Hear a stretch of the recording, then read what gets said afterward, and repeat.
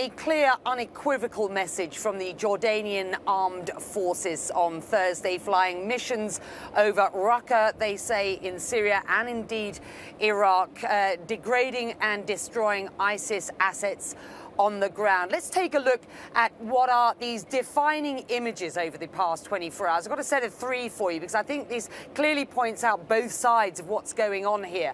Uh, the video images that our viewers uh, will see of the destruction, the airstrikes on Raqqa, uh, some 30 fighter jets, we were told, in the air, um, and they uh, were successful. They destroyed their targets and all re returned home safely. So that's the first set of images. I want to get our viewers a second set of images now because these released shortly after uh, the uh, infrared images that were released uh, by the armed forces here. And these released by ISIS as part of their ongoing propaganda campaign and a set of images that so, uh, show purportedly show children, young children in classrooms in Raqqa. They say this is ISIS that they have opened uh, 24 schools, uh, 12 for boys and 12 for girls, uh, giving the impression one assumes, or certainly uh, what they want to do, is give the impression that life continues as normal in what is this hotbed of